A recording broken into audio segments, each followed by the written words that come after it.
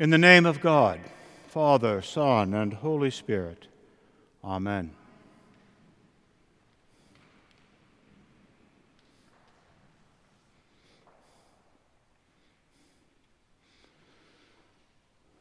The Episcopal Church, in our appointed feast days, actually remembers the brilliant Roman Catholic theologian Thomas Aquinas.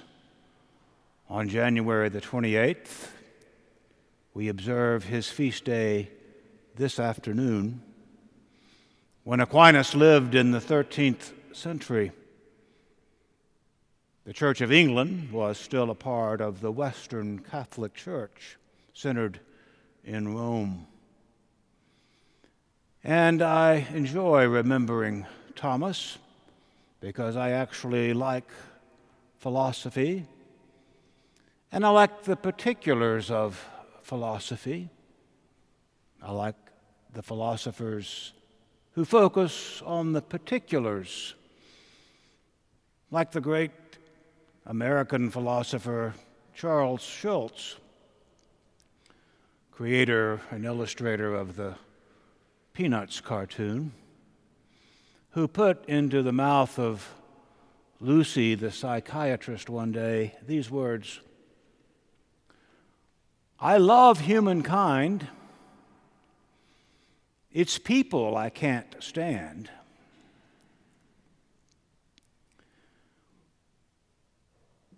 With Aquinas, with Aquinas, I remember the old philosophical conversation between universals and particulars. One classical branch of philosophy starts its study with universals. Another branch starts its study with particulars. A person who studies universals studies the properties of things common characteristics of individual things, classes of things. For them, these universal titles are real. On the other hand, a person who studies particulars starts with the things themselves, giving the object or subject its own attention before assigning it to some category. For them, only the particulars are truly real, not universal categories.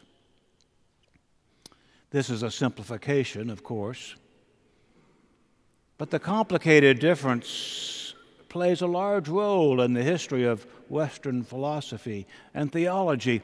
Plato started with universals. Aristotle started with particulars. And for a thousand years, the Christian church used the work of Plato to form its theology. It was today's saint, Thomas Aquinas, who brought Aristotle back to the attention of philosophy and theology. Aquinas taught us to pay attention to particulars again. Of course, he did much more. He was able to interpret both Plato and Aristotle together, able to combine faith and reason in edifying and faithful ways. And he developed even more great definitions of the existence of God God as first mover, for instance. There is a God, he claimed, because something must have begun this energy, this motion in the world. Aquinas focused on being too. We are contingent beings, he said, implying that there has to have been being before us who is God. Today, it's enough to point out his attention to real and physical things, the particulars in life. not the lofty universals that escape us. Aquinas brought philosophical attention back to flesh itself, like Aristotle had done, like a good scientist does. The other simplistic example I give is of music. A person who starts with universals says something like, I like music. A person who starts with particulars says, I like Beethoven's Fifth Symphony. Aquinas taught us to pay attention to particulars, and it is through particulars that we might grasp something universal. Amidst his profound theology, Aquinas wrote texts for hymns. He wrote two famous texts for the feast of Corpus Christi, the body of Christ. One of those hymns we will sing later in this service. Another one that we often sing at communion is Humbly I Adore Thee. And so I close this meditation by reciting that text, or at least the four stanzas of it we sing as a hymn. The opening stanza translates Humbly I adore thee, verity unseen, whom thou glory hidest neath these shadows mean. He's noting a particular that shows us a universal. And the hymn reminds us that Eucharistic devotion pays attention to particulars.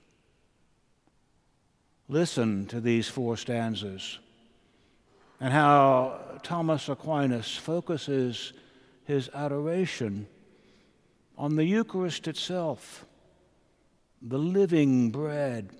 For him, it is a particular that opens his spirit to the life of God. Here is the hymn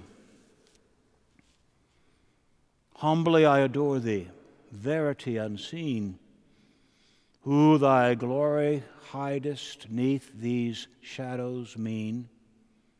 Lo, to thee surrendered, my whole heart is bowed, tranced as it beholds thee shrined within the cloud.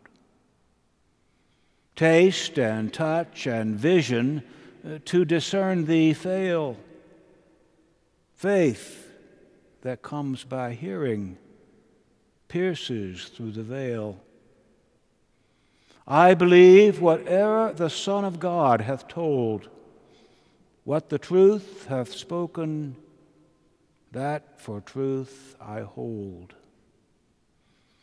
O memorial wondrous of the Lord's own death, living bread that givest all thy creatures breath, grant my spirit ever by thy life may live.